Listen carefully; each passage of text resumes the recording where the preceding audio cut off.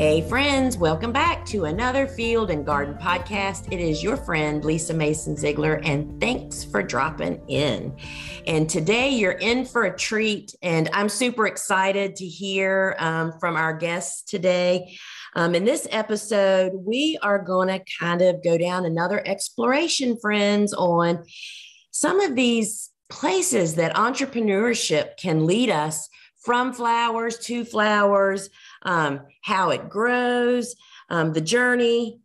And then there's that nasty word, pivoting our businesses, which we've heard so much in the last couple of years. So, you know, I don't know about you guys, but when I hear, when I used to hear the word entrepreneurship, the things that would pop into my mind would be things like out of my reach, or a person would jump into my mind, someone who I would feel like I could never achieve that. And I always thought I could just, I could never, ever do that. And I just want to say, friends, the whole purpose of these talks that I'm having with these different entrepreneurs is to show you that we are people just like you. We never thought that we would be where we are today 10 years ago. Am I right, guys? That's you right. right. so, friends, I am honored today to have the dynamic couple, Daniel Schavey and Wesley Turner, who are um, business partners in crime. I mean, to tell you, you guys, when I went to like stalk you a little bit online, is it three business? Is it three separate businesses? It's actually four, four separate businesses. Yeah. Oh my gosh! So there's one I don't even know about. Yeah. so I am going to, so I'm just going to kind of give the rundown and then we're going to start letting you guys fill in all the gaps for. So, Daniel, as many of you of my listeners will know who you are, Daniel, um, are uh, the flower farmer and the brains behind Petal Pickers, which is a flower farm located in South Carolina. And he now ships his gorgeous stems nationwide. Um, and y'all, if you don't watch his stories and his reels, um, I mean, it's like walking into fairyland, right? I mean, it's like a fairy tale. It is just so very, very beautiful. And then Wesley has the Nested Fig, which I believe is a warehouse shopping show business. And I think that did that grow out of your local garden boutique shop called Roots? Yeah, well, it actually grew out of our furniture and home decor store, Four Rooms, but that was one of the big pivots. Oh my goodness. So, friends, y'all are in for a treat because I will tell you from watching these, the lives and the reels and the stories, um, which are I look forward to every day. Um, there's just so much beauty and flowers involved. So, um, I just hoping, and I know that we're going to learn something from you guys. So, first, and y'all decide who can go first. Um, tell us kind of how all this got started. What festered this all up? All right. Well, let's start with Wes telling a quick story um, because he's the real entrepreneur between the two of us. I have learned a lot um, of what I know about growing my business and here at the farm um, from Wesley. But I'll start it off with when Wes was about 10 years old.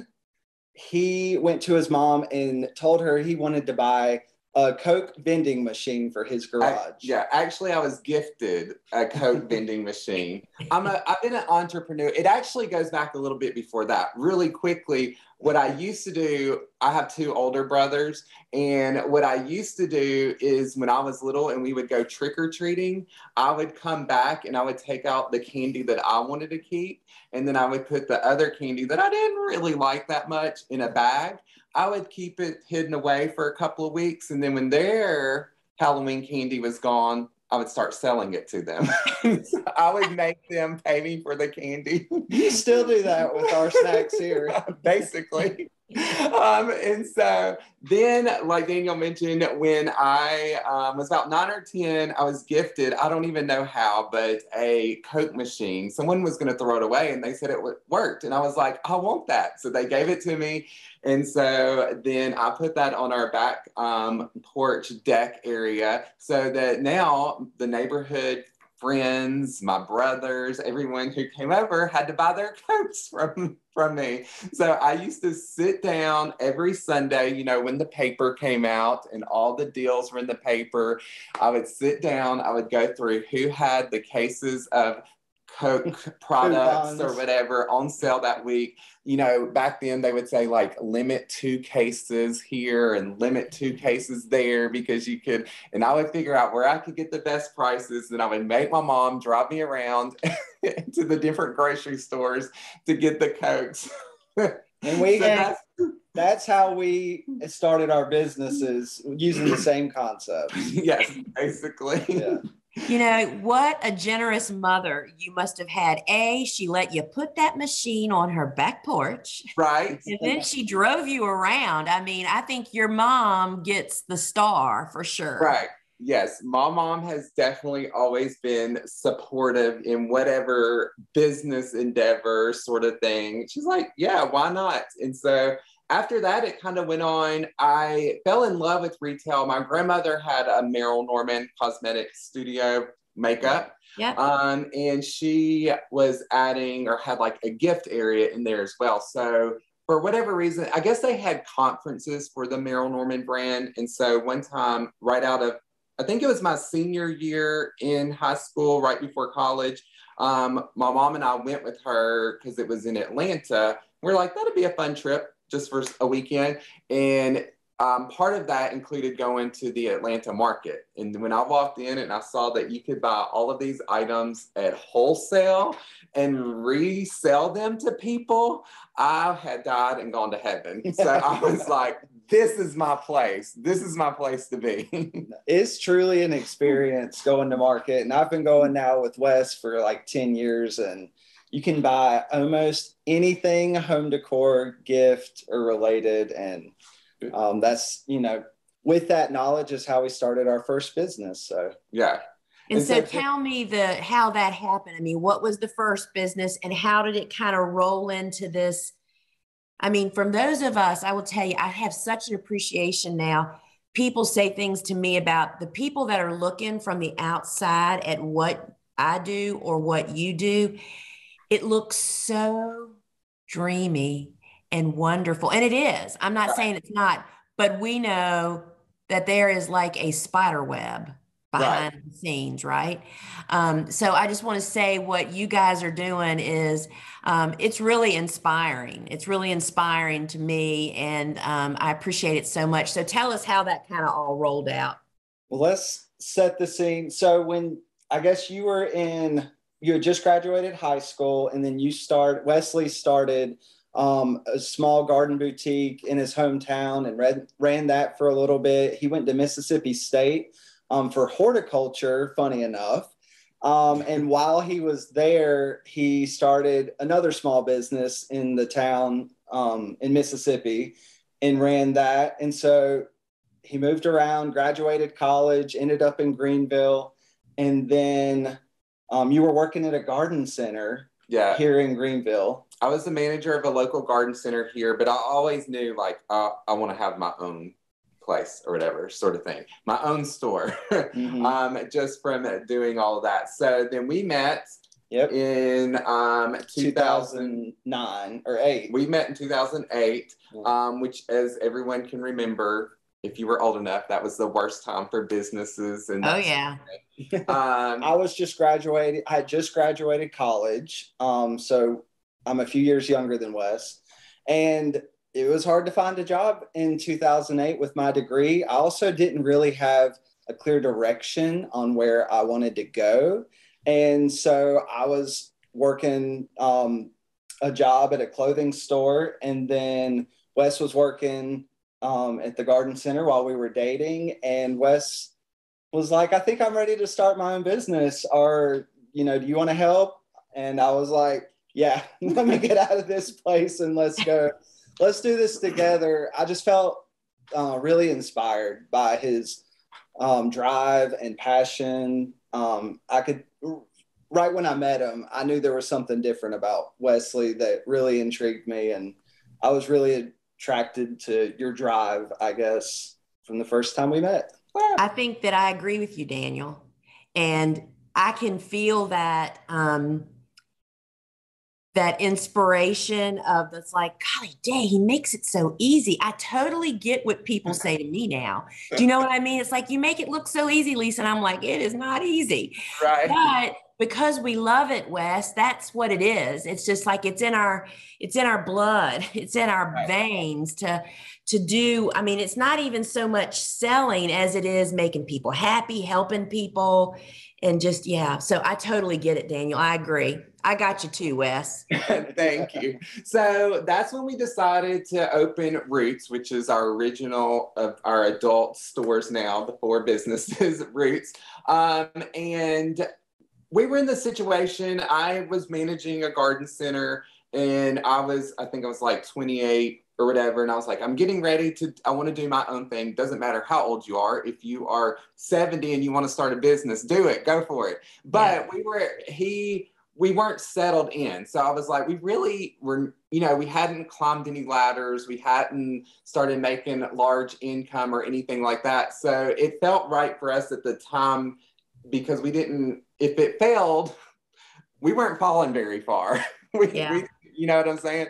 So we um, decided to um, open roots. And I will say, um, you know, when the economy is down, that's also a very good time to start a business because the ride up is a lot, um, a lot easier and we found you know i was 28 looking back i'm like who rented us retail space? I was 28 i was 23 23 and they we signed we had all the power in our court. So we negotiated down to a one year lease because if it didn't work then we needed to get out and we had no money to continue it. But um and in commercial real estate a one year lease is like is unheard of yeah. Like, will not do like today. You could not go find a one year lease anywhere. Yeah. Um. And but you know they were willing to do that just to have the space filled.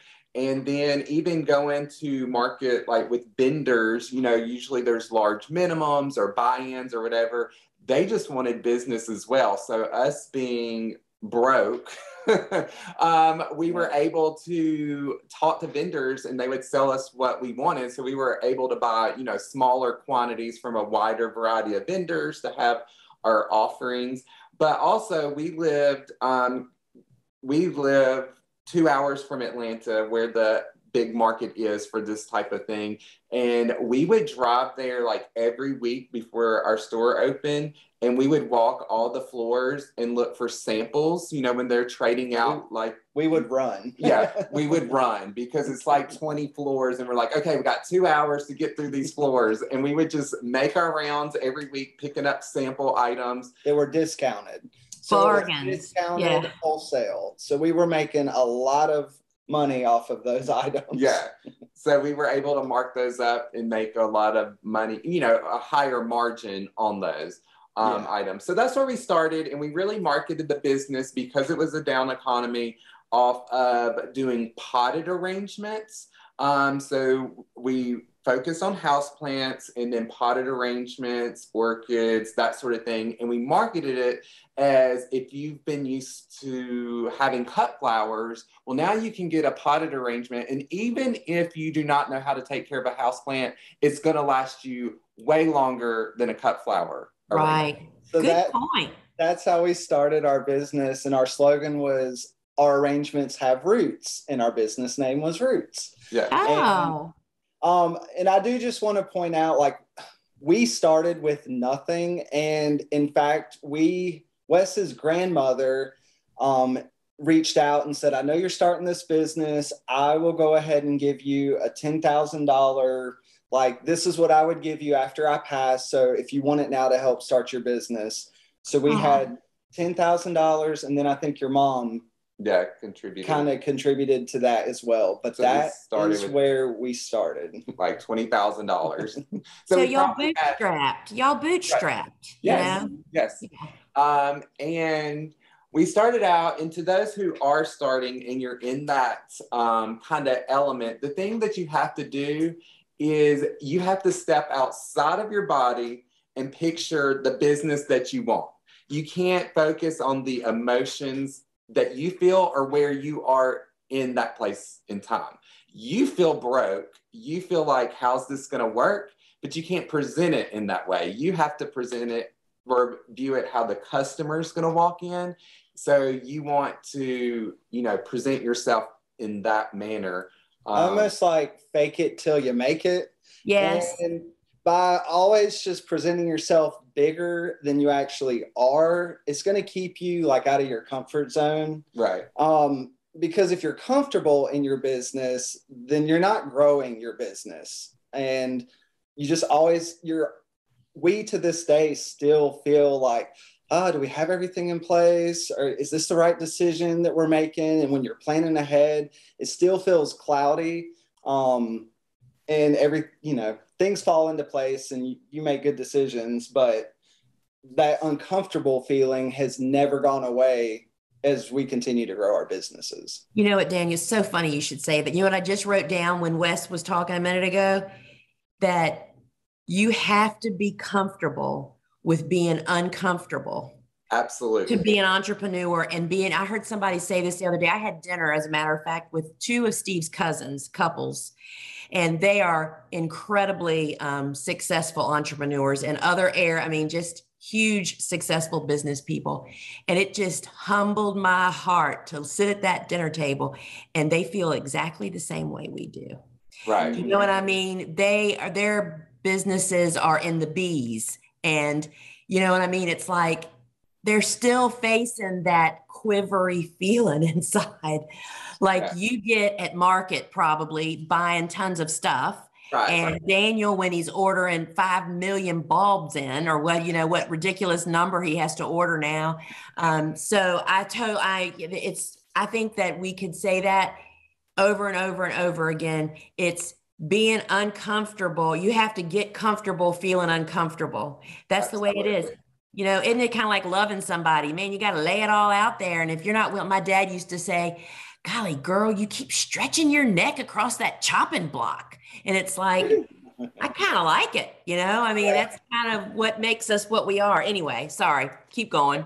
Yeah, and that definitely, I think that is one thing, a tip in growing your business is you got to be un- uncomfortable. Because if you're comfortable, then you are not growing. And then also, it even goes to your inventory whether like for me that could be furniture home decor it could be indoor plants for daniel that can be like you said bulbs or seeds or whatever one of the things that i've you know look back and it sometimes hindered my own business was not you know uh, stepping out and buying increasing my inventory numbers yes. because I was like, oh no, like we used to say, okay, January is going to be slow. It's after the holidays. January is going to be a slow month. And we would let our retail stores, the inventory get really, really low mm-hmm. um, because, oh, we're not going to really have those people anyway, whatever.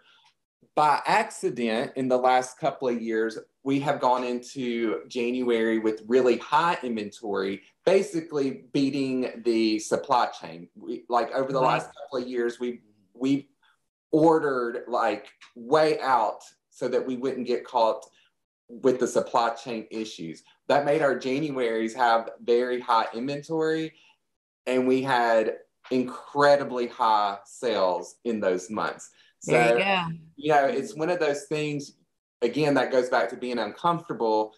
You got to push that envelope, that one step, that one order a few more seeds, order a few more bulbs than you think you would have, or whatever. Because if you don't have it, you can't sell it.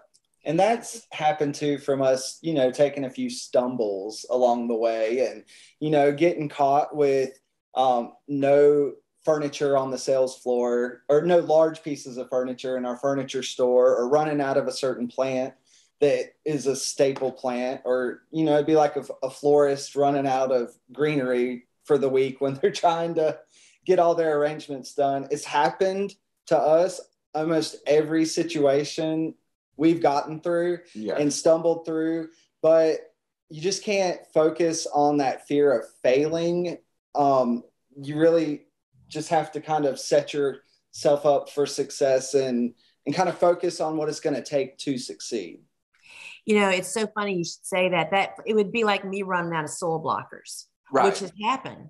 right. And we have the largest order of soil blockers, you know, on a slow ship from England right now.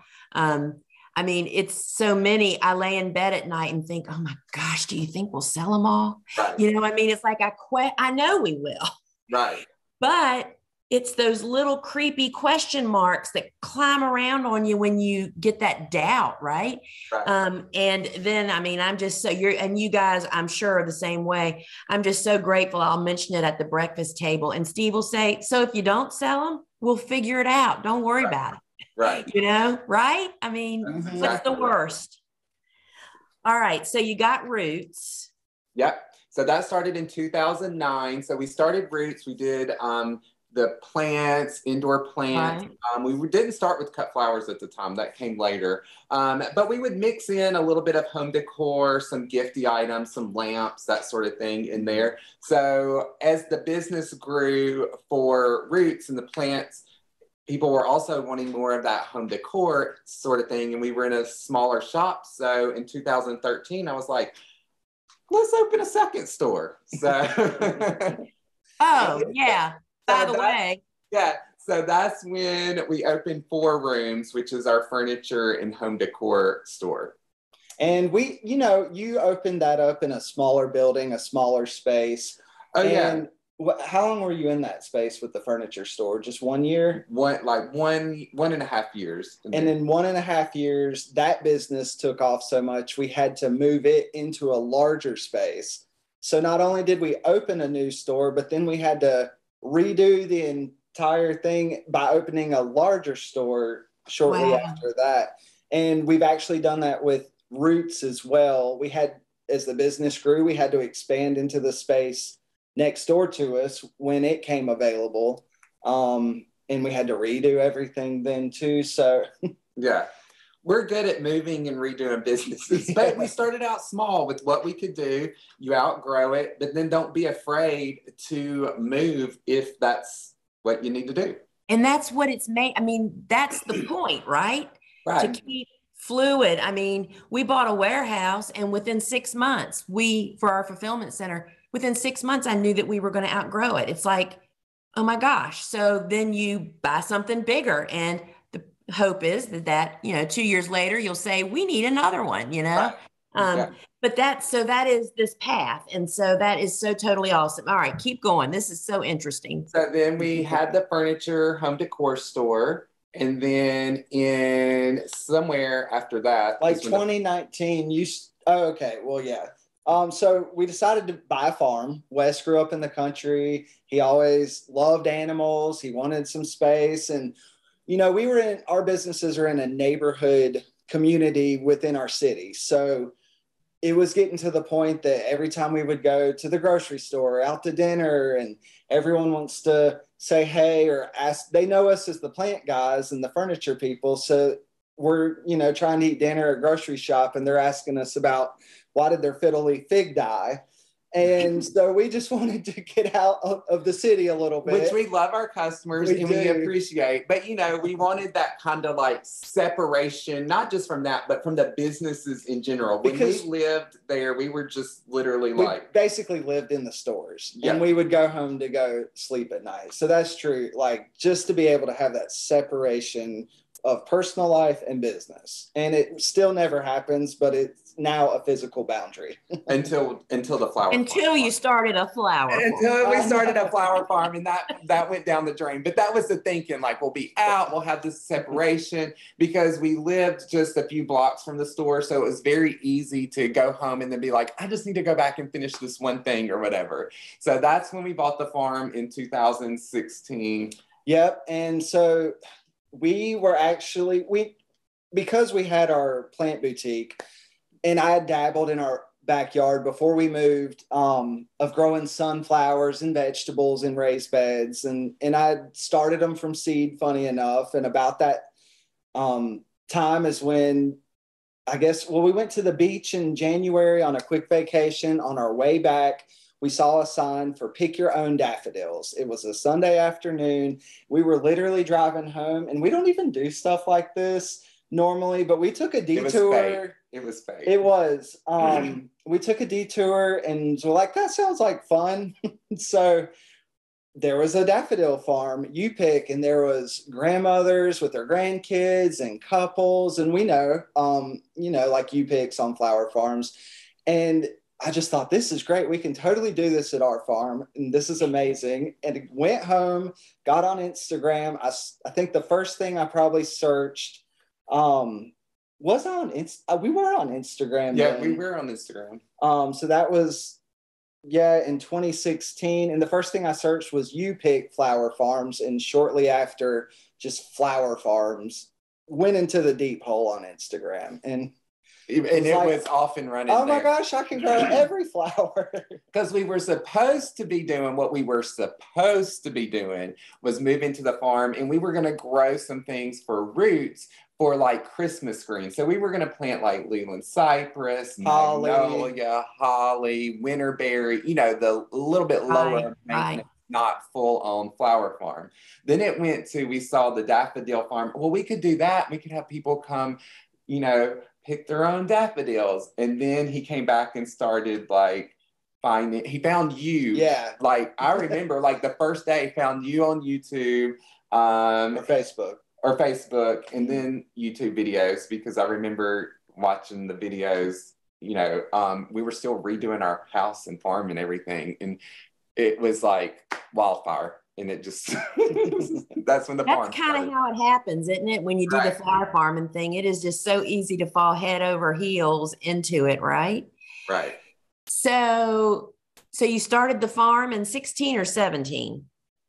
2016, we started the farm, and Wesley started his Instagram account for um for our house renovations. So that's how Farm Shenanigans, our Instagram account, came to be. And as we would get, you know, add a new farm animal here or there, we would talk about that and talk about your decor um, styling choices and everything as we were kind of redoing the house. And with the farm, I was that first year just grew for our retail stores. So I didn't sell to anybody else. It was just me harvesting flowers in the field and bringing the pickle buckets into our retail high end boutique retail store, pickle buckets on the floor, and customers went crazy and they just couldn't get enough and they kept buying them and buying them. And that was the first time we really introduced um, cut flowers to the retail store. Yeah. We had still been plants up to that point.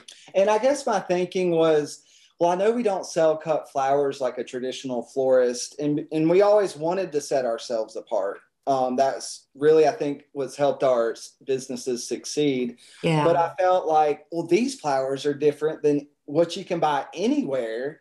And I didn't even know there were other flower farmers in the area. I thought I was the only one that had come across Lisa, you know, growing all these flowers in Virginia. And um, anyways, that's how. and then y'all got on a TV show. What was that?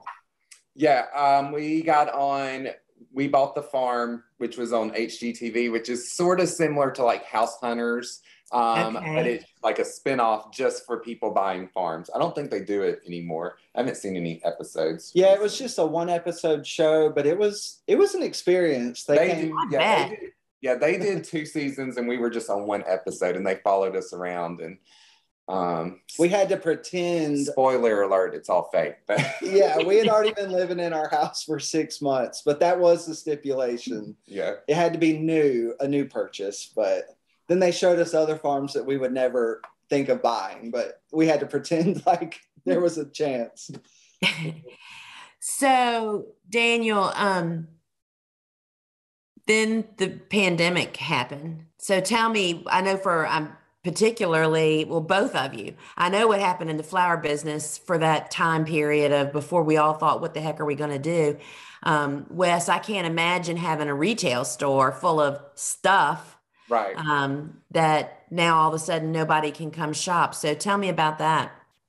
Yeah, so of course, you know, everyone dreaded that. And that's the moment when you're like, okay, this is the situation. How am I going to handle it? Because you just automatically have to start, how am I going to chew this and handle this? And it wasn't just that the stores closed. Well, we I had high tunnels full of ranunculus and anemones and all the good stuff. My most expensive crops that year.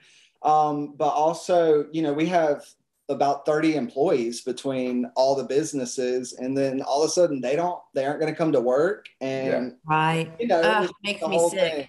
yeah i know and I think to set the scene to exactly where we were, to go back to Daniel's point. So he started the farm in 16, and then 17, he was like, okay, I'm going to up it a little bit. So made that next step to up it. Right. But then that's when you started realizing, like, oh, other florists, other event designers want this. Yeah, that was the first pivot of petal pickers. Was I was focused on just growing flowers and taking them to our own retail store, but then I realized then I think I came and told you like, Wes, other people, like other businesses are trying to buy my flowers. yeah. And so we were like, okay. So then, but so between 17, when he realized that, in 2020, when the shutdown happened, 2020 was the first like really, really, really big leap. Like you were like, I've built from 17 to 20, I built Roots, all of our customers were wanting the flowers. You've built this list of other retailers that want the flowers, the event designers. So that was the big spring. Like we have planned all my eh, yeah, everything was into this huge spring crop in 2020. Yeah.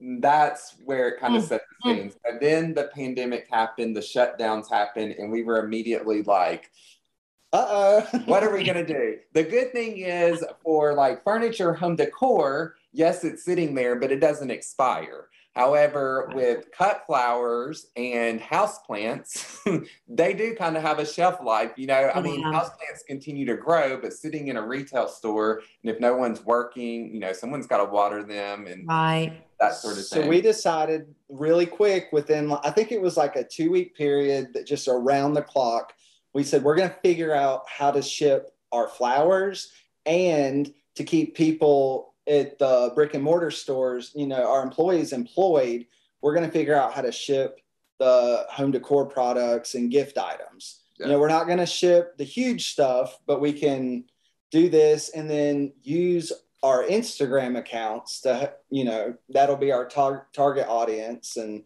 hopefully people locally can still support us too. But yeah, and so I, I had been dabbling in selling online from our four rooms furniture store, literally out of the back room, which was the size of a closet, it maybe a like closet. a 10 by 10 room.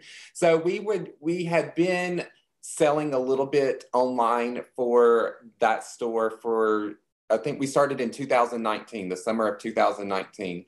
Um, so we had about I don't know, six or eight months under our belt of dabbling in the online um, sales or whatever. Um, and we were like, had a basic understanding. And so when the shutdown happened, I was like, this is my only outlet. Like, I'm still going to be on Instagram. I can still decorate, I can still show products.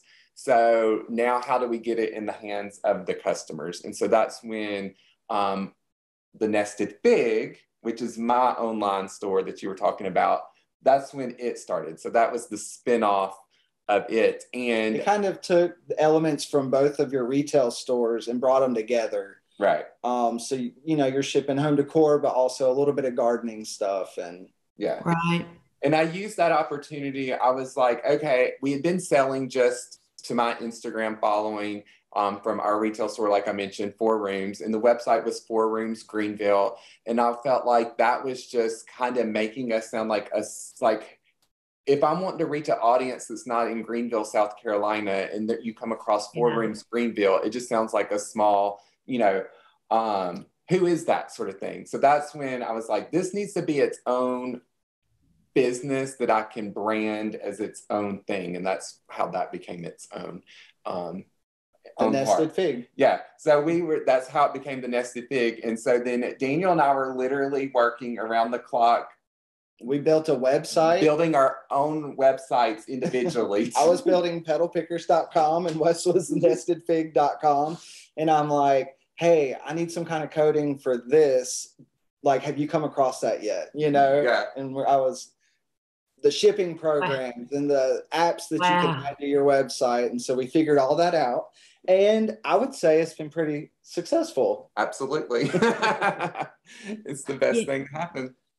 You know, would not have- sometimes the best things come from really bad stuff, right? Right. You know, I mean, It goes Yeah. back to you have to have that uncomfortable feeling and then, you know, working on it and uh, making it happen. And you can't be afraid to fail. You just have to, you know, try to focus on how you're going to figure it out. Right. and it's one bite at a time. And okay, now I have the website. Okay, now Right. how do we where are we going to store all this? But you know, we had the knowledge from building our retail stores for 11 years prior, so we knew how to get inventory. We already had employees. You know, it's like it all worked out, but it's because we had been building for 11 years, uh, Right. you know, and and now for 13 years. It's didn't happen overnight, not any of it. But you know, would you not agree that there is just one thing that is through and through, and that is consistency? You got up and did it every day, right? I mean, Right. I think that's where people get discouraged. I mean, that's kind of what I am hoping that these talks that I'm doing with folks that are, you know, whether they started as a flower farmer and it led them somewhere else, or flower farming is a part of what you're doing, like what you guys have built. That, I mean, it's not that we had, I mean, you already said you didn't have any money when you started Right. really. I mean, even the gifts you got, that's that's that's nothing compared to what some people. I mean, I, I read on social media or people are saying, "Oh, you can't start a flower farm unless you have X, Y, Z, and this and that." And I'm like, "Wow, I started with a wheelbarrow, some seeds, and a shovel. Literally, does that sound like a dinosaur or what?" But I did it, and I made money so I could buy more stuff. You know, Right. and I mean, I just want to encourage people that what we're talking about comes from being willing to be uncomfortable, to keep after and keep doing it. And I am a firm believer that the road to success is paved with failures. They're required. Oh, absolutely. Yeah. Lisa, And it's never too late to start the business. Like if you've been Or to thinking about it, start today or change or whatever. And if you're like, how am I going to get there? How am I going to, like you said, you can take $500, Yep. find what you can do with that and what you can sell. How can you make that $700? Then how can you make that $2,000? And you keep doing it and you feel like in the moment you are never going to get there. But once you start the ball rolling, it, it gets there and you can make it happen. You know, when I first started um, the Gardener's Workshop, the retail portion of our business in 2005, um, there was a local bird store, you know, where you go for wild bird stuff and everything. And it was an independent store. And I can remember one of the ladies that worked there lived on my street, and she would stop here often to pick up stuff. And I can remember her telling me the story of the lady that started that business like 30 years before. And she said, It's like you guys going to market and looking for the bargains. She said every week we would ta- they would they would tally up how much they made, what they needed to pay their bills, and then what was left is what they could buy stock for for the next week. Right. And that's what they did to build this, what turned into be an enormous franchise business for them. Um, you know, I mean, people talk about Apple being starting in somebody's garage. Y'all, these are real stories. It's not Right. that you just have to be willing to do it. And I think the being vulnerable part is where people just think, oh, but I have this problem or that problem, and they didn't have that, or they have this, or, you know, she has that. Not at all. I mean, we could fill up their ears with the problems, right? But we just faced them and figured it out. and you learn the most from your failures because I mean we've had so many. So some examples, I guess. Um, you know, I killed ranunculus for two years in a row, and I spent some good money on trying to grow ranunculus. Uh, maybe third time's a charm, but after killing it, I was determined to figure out how to grow it um, and really focused in um, you know, I've killed trays and trays of transplant stuff that I've grown from seed. We've had the deer come in and eat a thousand sunflowers in one night. And believe it or not, I've seen a herd of 18 deer in my flower field at one time. Um, and, and all that happens. So then, you know, okay, the deer ate my sunflowers. So we built a But- fence. But at the time before that, we couldn't afford to build the fence around the flower farm. So it was like, okay, well, then I just can't grow sunflowers right now. Yeah. Like, don't spend the time focusing Right. on the sunflowers if I'm not going to be able to keep them out. So what can I plant that we can recoup that money? So that's what got me into dahlias because deer don't eat dahlias. yeah. and so that was yeah that's exactly you take the situation and and try to figure it out to something that works um even at uh, what's one failure that we've had oh at roots um you know we always would try to beat our competition that we have an outdoor area at our plant store and so we also have a home depot like two miles down the street and we would always try to like Home Depot would get all these plants in early spring, and we're like, oh, we got to get our ferns in, we got to get our begonias in, and we would order everything in. Like one year we did it April 1st Or the end of March. or the end of We've March. done it all. Yeah. So then, well, you think you're in the clear, the weather looks good, and then all of a sudden a 29 degree night is showing up for April 16th, hmm. and our frost ah. date's like the 15th, and we have I don't I mean hmm. ten thousand dollars of annuals just sitting outside in our garden area, and so like, what do you do? Well, we went and got a bunch of tarps, hmm. frost cloth, and like we had our entire outdoor area tarped. I'm sure the neighbors down the neighborhood was like, what is going on? Trash bags, anything to cover it, you know. And some stuff didn't make it, but the most most of it did, and it, we're always putting out fires like that. Um, But then you also learn, okay, was all of that worth it? Or was Yes. it not worth it? Was it worth it? Was it not worth it? So you know what now? A plant doesn't show up to about April 15th because I'm not going to live through that two weeks of stress and move it. It's by the time I pay employees to tarp and untarp, haul in, haul out, the plants look beat up by then. It's not even Yeah. worth it. So you just figure out like, okay, let's not do that. yep. How are we going to make this simpler on us and everybody else? Right. Well, I mean, I think it's sometimes you see other people doing it, like y'all saw Home Depot. I mean, that's what social media does to flower farmers. I just had a conversation yesterday on Clubhouse with our good friend Janice Harris of Harris Flower Farm in Canada. And we were interviewing her as a northern grower. And I said to her, So, how do you watch all of us Southerners with flowers and planting, and you're still weeks and weeks and weeks away? And that's what I wanted to talk to her about because so many people that are inexperienced are going are doing what you were just talking about Right. doing way early. Either they spent a ton extra money. It's like at the end of the day, did you make more than you spent? What is your gut feeling like? You know, I mean, it's like I, I value things in gut juice. Right. I don't do anything that makes me crazy anymore. You know, I mean, I I had my share of those things, but yeah, that's that's a really great point. And so, you know, we've talked about the fears and the wins and the failures, and so you know, I call it fortitude. It's like what feeds you. Well, I can already tell that Wesley's the driving force um, Yeah. because he was would- born with it. I mean, it's like me. I'm a cliff jumper. It's like I don't think about the costs perhaps before I think, oh my gosh, that's a great idea. Let's do it. And then my team says, we just we did it yesterday. Spent two hours talking about something at the end. I'm like, all right, let's not do it then Right.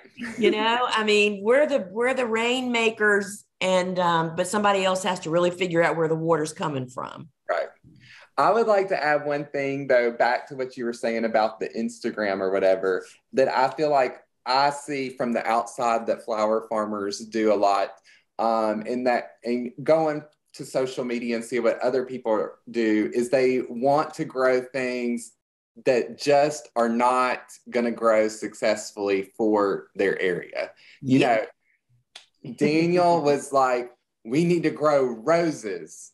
And I was like, you are not growing roses. See, this that's is what- where I put my foot down. That's where the horticulture degree came in good use because normally when I ask you about growing plants, he says, I don't know. yeah.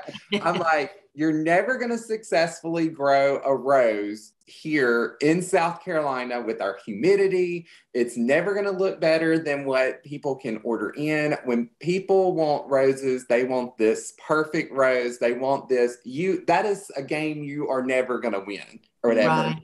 Right. Yes, out in, you know, Washington State or California. California, those places where they grow them successfully, they do look gorgeous on Instagram. But you're not going to do that here in South Carolina. It's not, it's just not going to work, sort of thing. So I think you can't get caught up on social media and what other people are doing. Um, you know, it's so hard. yeah, it's so hard. It's so hard. And I always tell, I think Daniel has a more of an issue with what I'm going to say than I do. But you got to, no matter what business you're in, flower farming, garden shop, home decor, you have to figure out your menu. Always compare it to a Mhm. restaurant. Like, what is your menu? You can't be an Italian restaurant and you're selling sushi. But you know what? Sushi's still good. That just doesn't mean that you're just not the one to sell that I so think you have to like really narrow it down to your menu and do your menu really, really good. So that's what your customers are coming to you for.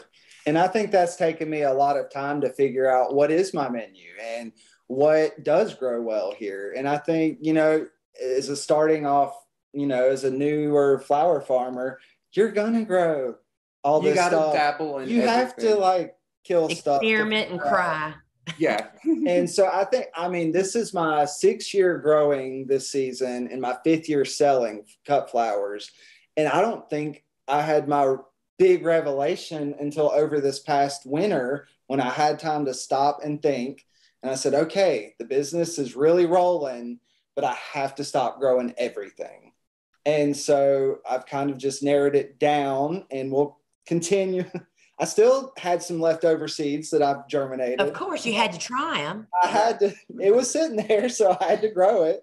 Um, but I've really started focusing and narrowing down my selection and and it you aren't gonna know that year one unless you're just growing a single crop. yeah. You You, have to cast with starting any business. A wide net. yeah, cast a wide net, but immediately start working on narrowing it down. And that's the process to get you more streamlined and get you running like a smooth, you know, smooth machine. Like at Roots, we started out doing Every- Decor, how- plants. home decor plants. I would do some weddings. I would do Christmas decorating Because you were houses. hungry.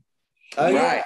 We when you're hungry, everything. you'll do anything. I mean, I did the crazy stuff too. But Daniel, I remember you saying, I don't remember if it was this last year or the year before when we were talking, that you were finding, you know, you're knocking some flowers out of the running because they don't ship well. That's become a big focus, right? And Mhm. There's just some things like these things that are behind me that you guys can see bachelor buttons and agrostemma. You wouldn't ship them, right? I mean, they would look like mush when they got there. And so it's always, I mean, nobody, all you have to do is call my sister and ask her how many times I change my direction.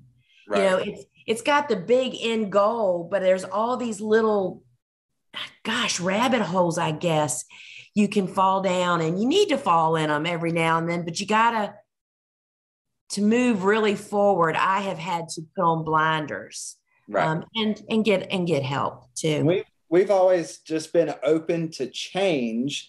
Um, you have to be open to change, but we've always let our customers kind of guide us along the way, but not drive us. So, like if one customer says, I have this huge wedding and I need yellow flowers, and yellow is the Pantone color of the year, and yellow, yellow, yellow, I can't make my whole crop plan yellow. That would be very bad. Right. I've also always been told to grow flowers, if you're growing for event florist and weddings, to grow flowers that are going to make the bride feel pretty on her special day. So don't try to grow all these crazy things that are brown, that are whatever. They're always going to want white blush, Right. light pink that are pretty. So stick with your core or whatever. But yeah, you can't let listen to your customers. Now, if ev- if you're hearing over and over, oh, we need some more yellow. Do you have anything yellow? You Right. hear yellow, yellow, yellow. Then maybe you should add some yellow to your um, crop. But it's you can't let them drive you like what Daniel's saying is just because one person says, "Oh, you need to be doing this," because if you start listening to everybody, you again your menu gets too big. You're all over the place. You're doing this. You're doing that, and you lose mm-hmm. focus of what your main core is. It's true. And I do. I'm a firm believer in networking, and networking it means more than one or two people. Right. Um, because you can definitely fall into something like that if you're, I mean, whether it's a customer or a cohort, you know, I mean, yeah, Yeah. totally and it's. And it's one of those things like just because another flower farm or retail store or whatever in your area is doing something doesn't mean that you then have to do it. Like let them do that. Let them like find your path, let them do their path, stay in your lane. Doesn't mean, you know, if someone's growing roses, everyone has to grow roses. Someone's going to do it really good. Let them be the rose person or the rose people. There's going to be more than one, but you know, um, right. but remember what you do best and you like you said you got to put blinders on and you learn to do that after a while but it takes a long time to put those blinders on because you feel like you're missing out and you feel it's an like evolution. Yeah. And it's there's many steps to that process. But yeah, And crop selection is a big one of those, isn't it, Daniel? It's like Mm. people say to me all the time, like we're, you know, we're getting ready to have an open farm here. And people are gonna say, Well, why aren't you growing this or growing that? It's like they're all great, but I don't need to grow all of them. It doesn't mean I will never grow them. It just means at this point in time, right? Like you said, when when you couldn't keep the deer out, you learned what you couldn't grow because they didn't eat these other things. And then I'm sure you brought sunflowers back. I know I saw them on your social feed not long oh, ago. yeah. the Um, deer you know, is holding strong. So lots Yeah. of flowers this year. so things are always changing, and it doesn't mean it's going to be that way forever. And um, so, you know, you've been sharing these tips just throughout our talk here, and um, you know, my the way that y'all did it is very much what I had written down here is starting small, taking small bites and trying to set yourself up for success. For instance, you guys doing your market shopping um, would be the way, like if you were a flower farmer, I'd say a way for a flower farmer to set themselves up for success is that if you don't have a cooler, don't grow tulips. right. Just go to social media today, and I'm sure you can find 10 suffering growers that don't have anywhere to sell their tulips because they're first years and they don't have a cooler to keep them in.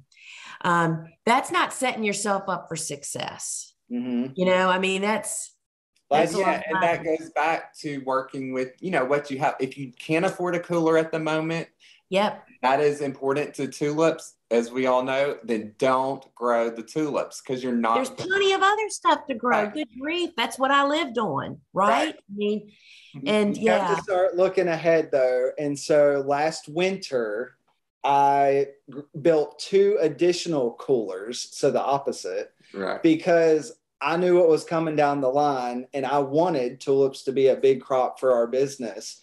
I didn't need the third cooler yet, but because I was building one, I thought I'm going to go in and build the other. And sure enough, this spring, all three were full. and I'm like, really, you know how did i i just think like what what made me build that third cooler? Like i really didn't know but i just felt like this is going to be a bigger thing and i'm going to need this in the future. It's easier to do it now than it will be to hmm. stop everything and start this project again later. So it's kind of you know you have your intuitions I was going to say intuition and experience. And, you know, we do learn as we go through this. And I mean, the forecast in the flower world is pretty good looking for the next, you know, I mean, I live in five year lumps Right. and, um, yeah, it's just getting better and better. And, um, you know, I just appreciate y'all taking the time. I know both of you, it's the week before the week of Mother's Day. So I know Daniel has better things to be doing. and I know you probably do too, Wes. Um, but I just have so much admiration for the businesses that you guys have built. And um, for those of us on social media, you know, flowers are just such an amazing part of that. And, you know, I just love sharing with people, first off, um, for me being the old woman in the group, you know, many of my grower friends, I'm 61 now. When I started hitting in my early 50s, I thought, you know, I don't think I can do this till I'm 70. I love it, but it's right. pretty hard. Um, and, you know, I'm just trying to like highlight some of the amazing paths that people have brought to flower farming or taken from there. And y'all were at the top of my list. Um, with these amazing businesses. So now I want you to share how people can connect with you all, how they can watch your shop and show, Wes, and how they can order your flowers, Daniel. Y'all, um, you just everybody deserves to get a bouquet in the mail. Daniel has shipped me several bouquets, and they are all breathtakingly beautiful. Um, and you will not be sorry. Um, so fill us in. How can people okay. can buy from you? All right, before we get to how you can connect with us, I have one last tip that I always share with business owners that I talk to. And that is when you're thinking about your fears, going back to fears, don't focus on the fear of failing. What you really need to focus on is if you succeed, because if you succeed, it is much, much harder than if you fail because it's you true. hit wall. You will hit a wall at some point in your adventure when you realize this is working. And not only is this working, now this is a marathon that I have to keep up with for the next however many years my career is going to be. Which is everything you asked for. Which is everything you exactly. asked for. But getting through that wall when you realize you know, you start out with that mental underlying subconscious of, is this going to work? Am I making it? It doesn't feel like I'm making it. I'm never going to really make it. And then it slowly turns to like, oh, this is working. It's going to work. It is working. Then you wake up one day and you're like, oh my gosh, it's working and I've got to keep this going. Like that is, that was much harder for me to break through than thinking about the the failing part of it. So you got to mentally prepare yourself to run the marathon for years and years and years. I mean, and that's the talk everybody talks about about being sustainable. Well, that sustainability can be you and to keep your brain power. I know for me, it's like keeping ahead of the monster is a lot of energy and yeah right. totally agree with that wesley. That was a great that's a great one. That's a great one. So you can find me on instagram at farm shenanigans. You can follow me here at our farm and i do decorating things and that sort of thing. And then for our online store it's called the nested fig and we do have an app that you can download and shop and it's just if you search the nested fig in any app store on your iPhone or Android phone or whatever, and you can find our store there and see what we sell that we ship nationwide. And then Daniel, you can find him. I'm at Petal Pickers on Instagram, or you can go to petalpickers.com is our retail website. And you can ship anyone that you love. Or we actually actually have a lot of flower farmers that'll buy my flowers that live up in the north and they'll buy my early spring flowers just because they want to have flowers again mm-hmm. while they still have snow on the ground. Um, but awesome. Can, yeah, but you can order at petalpickers.com. Um, and we have, as long as the flowers are blooming, uh, we're shipping them. And we kind of do a bouquet each week. And it just depends on what's blooming out in the field. And you're going to get the best of what we have out there. That is so awesome. Y'all are just such an inspiration in so many ways. And I appreciate you being here with us today. And so, friends, if you're enjoying this podcast, we always love it when you share it with your friends, give a review. Please connect with Daniel and Wes through their social apps. Um, I'm sorry, social media. Um, I'll actually put the links in the show notes below this podcast. Um, and I will tell you that they have a miniature donkey. Is it a miniature or is it just a donkey? It's a miniature Romeo. Romeo. And what's the big bird you have? We have emus now.